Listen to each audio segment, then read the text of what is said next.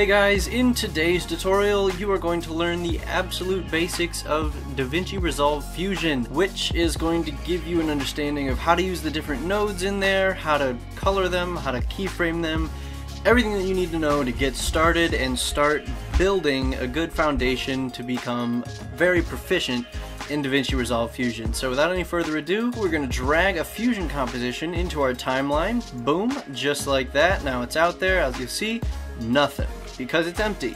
So now we're going to go into our Fusion tab down here. Boop. And now that this has popped up, we're going to move our media out over here because we're not going to need that just yet. As you'll notice though, on this node is a little white dot right there. That little white dot represents which viewer it's going to be presented in. So the one is this one here, this viewer number one, and then the second one is viewer number two right here. So you can select that either by clicking on one of those two dots or by pressing two or pressing one on your keyboard. So what we're going to do here is we're going to make like a blank text call out, something that looks like this, that you're able to track to things and label them in your video.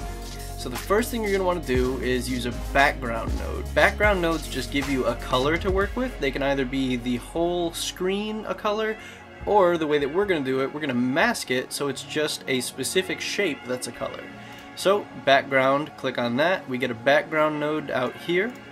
And then the shape that we're going to use to start this off is a circle. So we're going to go into our little masks right here.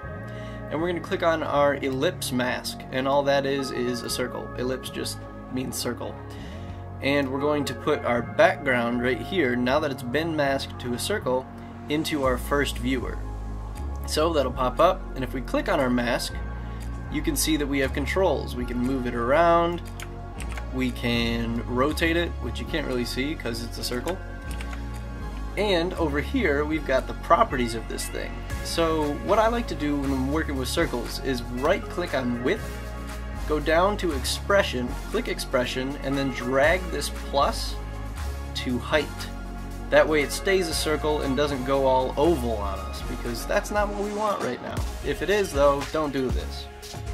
So we're going to drag our height, since our width is attached to that, it's going to change both of them at the same rate. So we're going to make a small little circle here to start as our point on the thing that we are going to be labeling. And then, now that we have our circle here, we're going to make a new background node so that we have another color. If we pop that up in viewer number two, you'll see that it's just black. You can change it to red, you can change it to white. I'm doing that over here in the properties panel just so that that's clear. We're going to leave it as black and we're going to, this time, we're not going to be using a rectangle or a circle. We're going to be right clicking, going to add tool, going to mask, and then hitting mask paint. Now that we're in mask paint, we're going to drag that onto the background because since this was in the mask menu, it is a mask. And every blue line you see is going to represent a mask. Every blue connection is a mask connection. So here we can see blue line, blue connection, mask. Blue line, blue connection, mask. So with our mask node here, what you can do is you can either paint on and see that, or you can use this point paint thing, which allows basically the pen tool from Photoshop or After Effects or Premiere. So we are going to click in the middle of this and we're going to make a line going up and then a line going over to the side like that. And since we don't want to be working like this with our project all spread out, we're going to connect these two and their outputs which is going to create what's called a merge node. If you want to add one of these without doing it that way, you just click right here. This is the merge node button.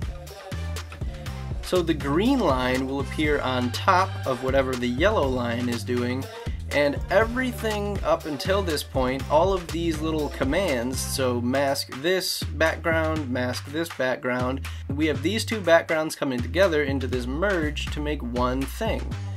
So everything up until a merge is shown in this merge. So if we were to bring this to media out, set media out to number two, we would see both our dot and our line. But right now, we're going to focus on our line a little bit. So we're going to go back to our mask paint because that's where our line controls are. And we're going to take that softness all the way down just because I'm not a huge fan of how soft that looks. We're also going to shrink our line here. And then we're going to put our merge node in viewer 1 so that we can see everything up until that point in the first viewer here. And we're going to get rid of this. So if we double click down here, it'll take away all of our guides and everything, and we can see that we've already got a pretty nice looking call out. So now what we're going to do is we're going to add in some text, because generally when you put a call out in, you're going to want to add text. So we'll throw in text with this text button right here. You could also do add tool and then find text in here. It's in generators, text plus, just like that. So with our text, we're also going to add this into the output of that merge. So now we have merge 2, which is everything from this merge and the thing that's connected to it. So text. And you can see in a line what's going on. So we've got our backgrounds, and then our backgrounds are being masked, and then those are being merged into this next merge, which connects it with the text. So we're going to click on text, head up to our properties panel up here, and we are going to put callout. Oop, callout. And now we're going to put merge 2 in our first viewer and we're going to be able to see everything that's in merge 2. So we've got our callout text here, we're going to drag that up and then over so that it's on top of our callout. And if we double click, we'll be able to get a clear picture of what that looks like. That's looking pretty good. So what we're going to do now is I'm going to show you how to color all these things. And for pretty much everything, you color it the same way. So you just come over into our properties, you hit color, and then you pick color. We're going to work with some blue text. No, we are not. That looks awful. We're going to work with some red text so that we can actually read it. And then we are going to start keyframing. So for the keyframes, you don't really need to worry about the background so much as you need to worry about the masks that are changing the backgrounds.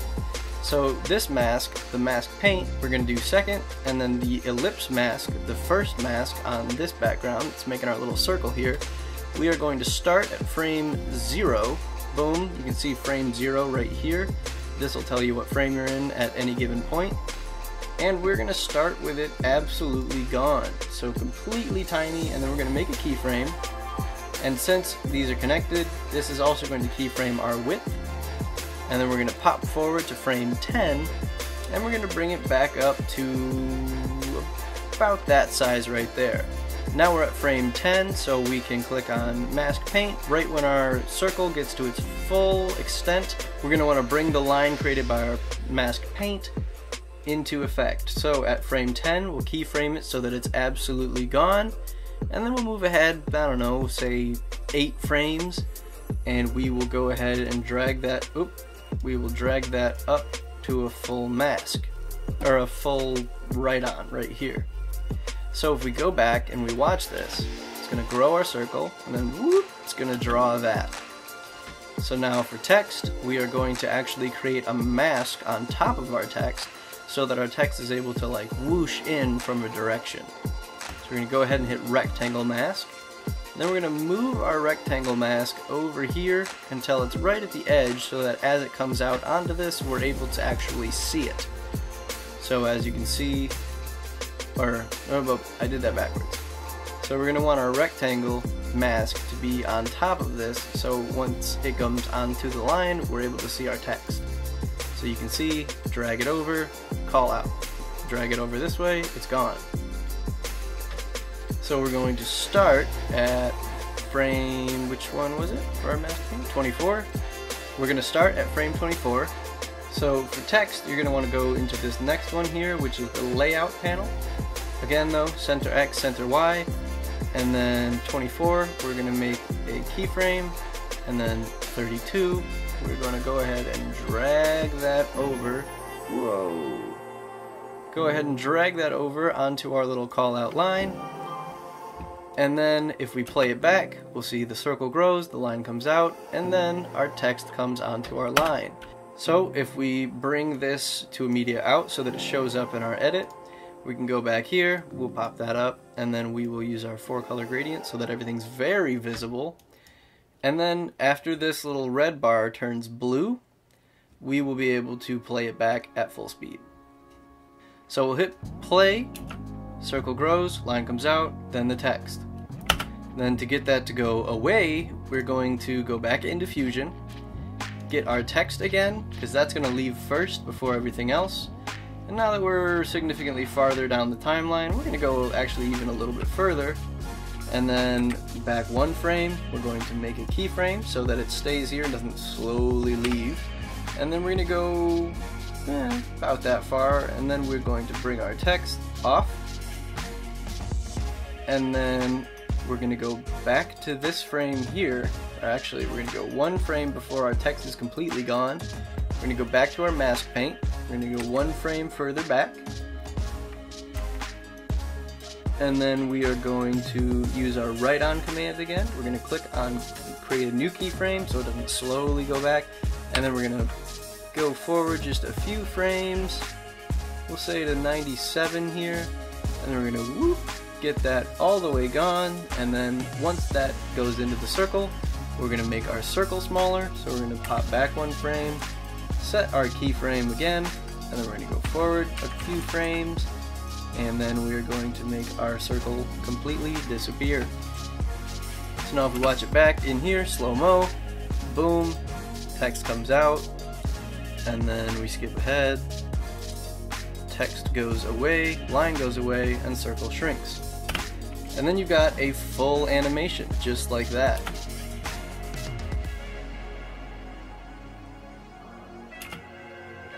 If you guys are interested in Fusion, but you want some sort of a template to work from, in the description down below I've got five for sale. I've got some titles, I've got a call out like this, I've got some lower thirds, just so you can see what's going on in those different things when it comes to the node web. You can pick those up and you can use them for whatever you want.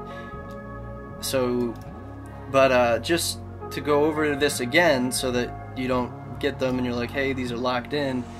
If you want to change colors, you just click on the node that you want to change, like these backgrounds, and then you're going to change them to a color. Say text, you're going to change your text to a color.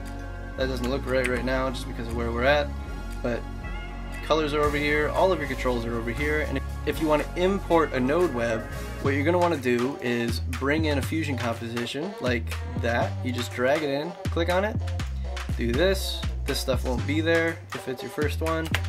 Delete. So you go up to File, click Import Fusion Composition, and then we're just to do slanted title. You already saw that one earlier in the video. Hit enter on that one, and then it will pop up in here and then as you can see, just whoop, line, and then it goes over to the text. It hasn't fully buffered yet, it's not actually that slow.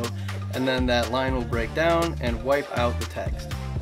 So there's a whole bunch of different options, things that you can do in DaVinci Resolve Fusion, as long as you are feeling creative and you feel like putting in a little bit of work. Because if you're used to layers, like you're in After Effects or Premiere Pro, this can look a little daunting, but once you get used to the node web and it's kind of the same thing, it's just this layer is on top of this layer which comes together here in this merge and then it goes to the output. So pretty similar, but it can look daunting. like I said, if you're looking to get a little bit of a template to work from, pick those up in the description below and you'll have a pretty good head start. I really hope that this video was informational. I hope that you learned enough to make you confident to at least start clicking on the Fusion tab down here because once you get into it and once you start learning it, it's a really incredibly powerful tool. If you guys ask in the comments down below, I will definitely put together some more complex tutorials for this. If you have any specific projects that you're working on that you're trying to get done, let me know down there below and I will make tutorials on how to do those specific things that you guys need to do so that you're able to recreate them and use them in your own edits. If you liked the video, leave a like. If you enjoyed the content, make sure to subscribe to the channel for new videos every single Monday and Wednesday. Thank you guys very much for watching, and I will see you in the next one. Peace.